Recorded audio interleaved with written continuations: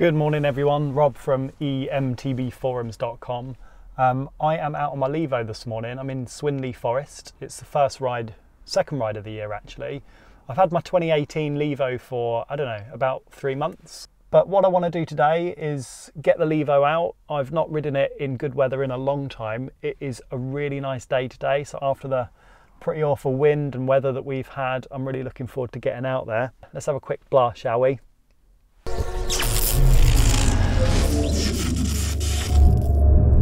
The paint job on here is superb.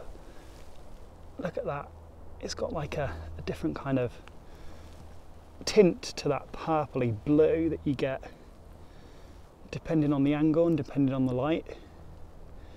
I really like the matte. I wasn't sure if I'd like it because we couldn't see it when we ordered it. We ordered it blind pretty much, just going from the photos. But what I would say is you don't really tell from the photos on the Specialized website. It'd be nice if they did some videos like this. But look at that, the quality of that paint and that finish is really nice. I do love Specialized attention to detail and the effort they put in. So, if you haven't seen the Turbo Levo 2018 before, basically you've got this trail remote just here and that will do your three modes so that will do your, um, your eco, your trail and your turbo. Hopefully they'll put more modes on there rather than having just three because uh, you know it's just a software update. And then on the other side, I think what this one does is it puts into 100%. So if you tap that, if you set up your mission control and you've just got a few different settings for your assistance, that one will always give you, I think it's 100% um, current to the motor or voltage to the motor, which is pretty cool. Guide RE brakes seem all right to me. Yeah, give you good stopping power. This RockShox uh, Rev Revelation fork, which I know some people online I've seen, have changed it to a uh, to a 160 millimeter travel length instead of a 150, the stock 150. And then on the back, got a Monarch. I think it's a Monarch anyway.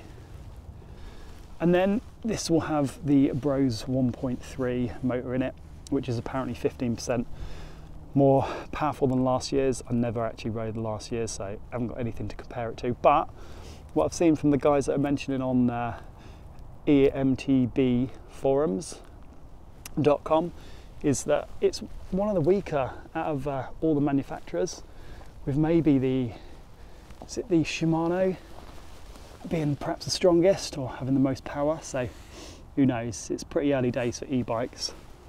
So I'm sure we'll see some pretty rapid upgrades in motor technology over the next few years. And then you've got the old battery in the frame, which goes down there. I hope I don't damage it because they're 700 pounds for a new one, which is crazy, but I'm pretty sure it contains all the all the processor, all the brains and everything in the battery. But 700 bucks, you thought an iPhone battery was expensive, 700 quid for a battery is quite a lot of dollar. So yeah, on the whole, I absolutely love this. It is one of my most fun bikes that I've ever owned or we've ever owned because it's not actually mine, it's my wife's. Right, it's pretty chilly out here. My hands are pretty damn cold, it's about three degrees.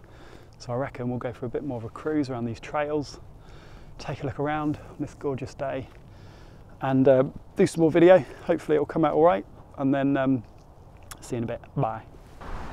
Swinley Blue on my Turbo Levo.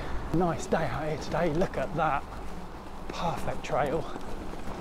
Oh, sun burning through. Well, not really burning, shining through, but golden sunlight in the middle of January, no one's going to say no.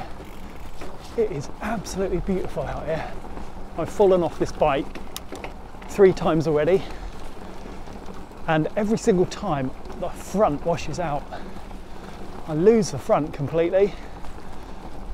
So I'm trying not to do that again because it bloody hurt last time. I had a massive bruise down my left leg. Oh, on about. Just going to join this neck trail. Blue too. Through this nice, sunny, cold winter day. It is lovely out here.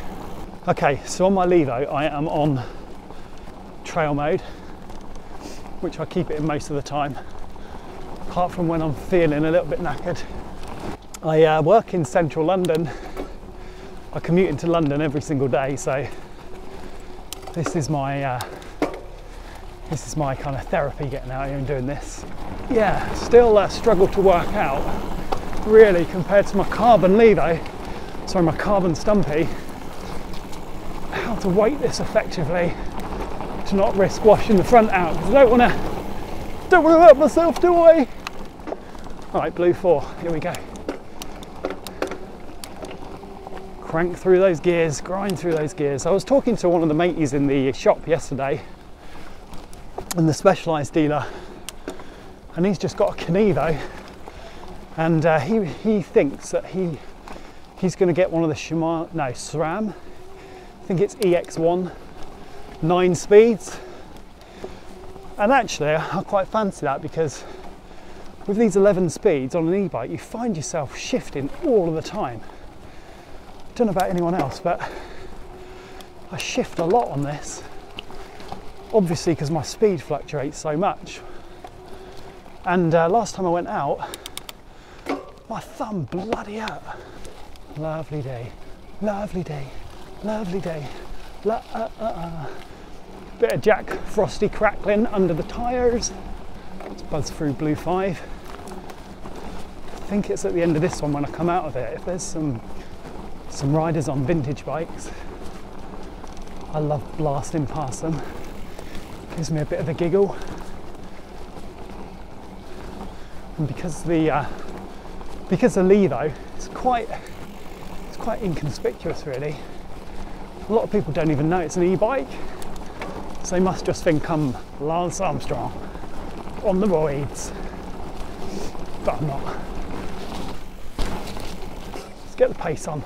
Now there's a nice spot just up here around the corner. When we get to the next trail, I'm hopefully going to be able to do a couple of nice picks on the bike yeah. Oh by the way i've got some sealskin socks. They're nice and tasty so totally waterproof so i can go through anything. And uh, not give a damn about getting wet feet. Like this. Yeah. Blue le bleu 7 11 du 13 4, 5, 6, 10. Is that it? Nah, it's not, is it? Got that wrong. Yeah, let's just have a look at this because this is a nice, nice cheeky vista to look out on. Look at that. Lovely. Here we go, here we go, here we go, here we go.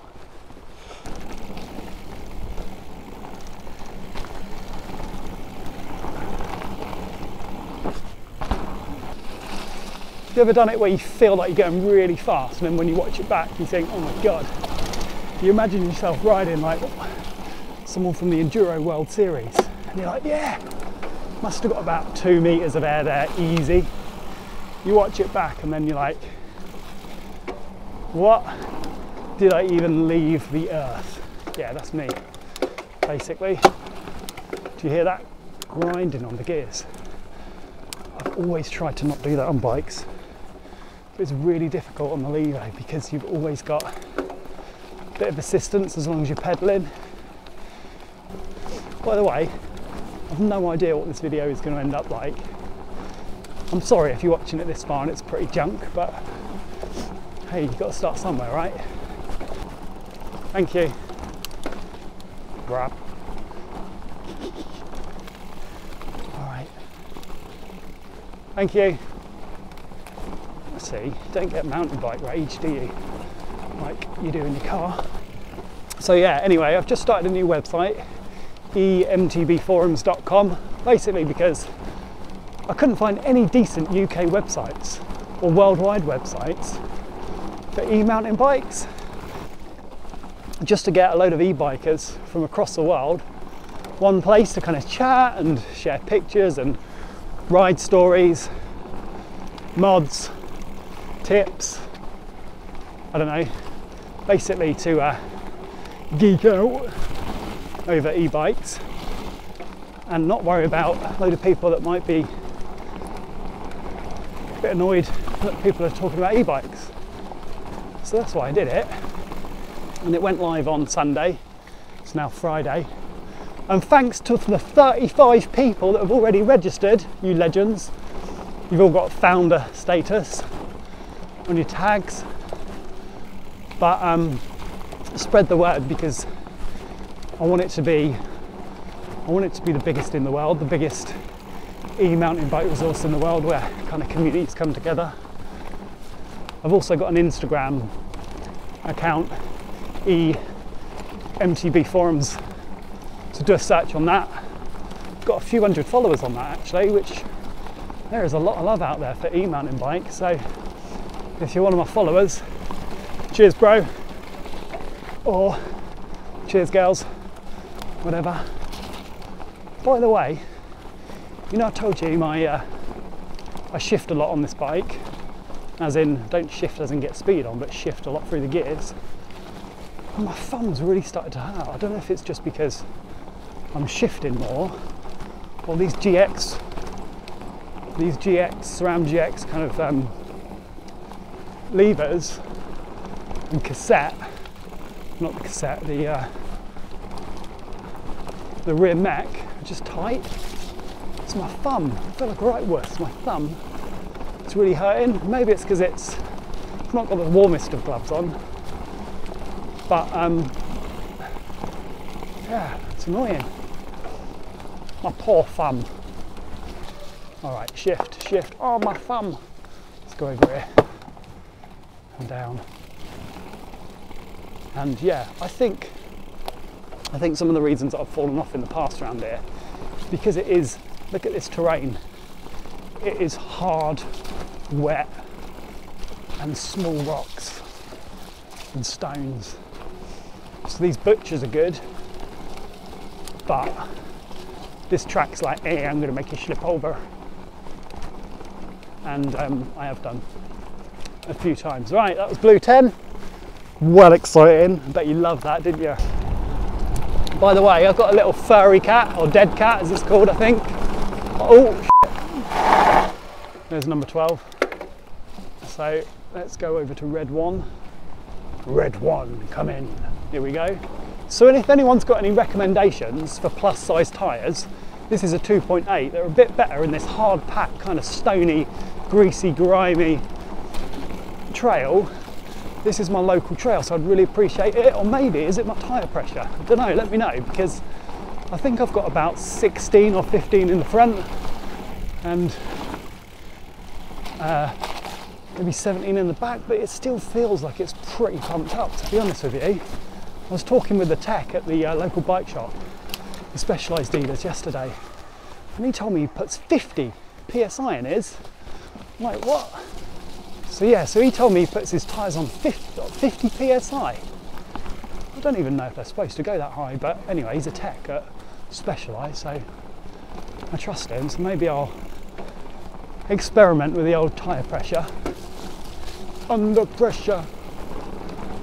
So yeah, oh, see, I nearly lost it again. Um, and it's always a front. I think what I'm going to do is it's an excuse, isn't it? If the man mats add up, I'm just going to have to buy another one. I think I'll get the Kenevo in XL. Uh, don't do a carbon one. They do a uh, nice green one, gloss green, and they do a black one. But I quite like the green one. Right, nice mud. Cheers, mud. Love ya. Oh, yeah. So the other thing about these bikes is the bottom bracket's quite low so you do tend to get quite a few pedal strikes. But what I've done is I've worked out, it doesn't take you long to try and adjust and do the old ratchet tactic. So you're not pedaling a full rotation, you're just kind of ratcheting it up and down so you're not risking your pedal strike. So yeah, I'm not going to lie, this is a wonderful bike. Look at it, look at the colour. It looks beautiful, doesn't it?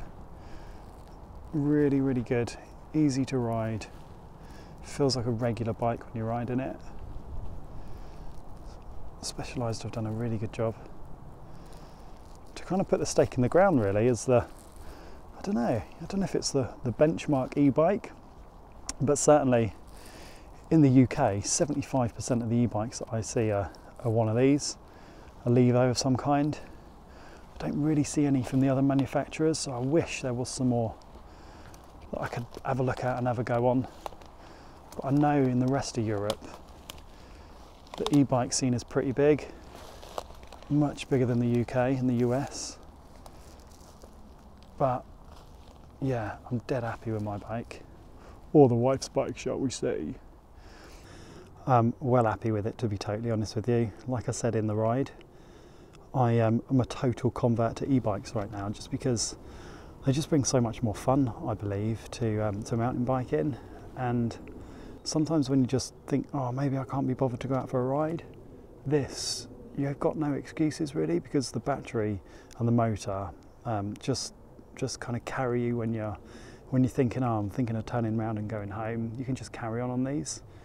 They're such a pleasure to ride. They are a bit bit bit lumpy, bit heavy um, compared to your regular vintage bike, but um, yeah, get on one, try it out, and see what you think, and let me know in the comments. If you want to find out more and join more uh, e-bike owners, head over to emtbforums.com. We're new, so register, come and say hello, come and post your question, um, or just come and uh, socialise with other e-bike owners. Um, all e-bike mountain owners are welcome, so pop along and say hi. Peace out.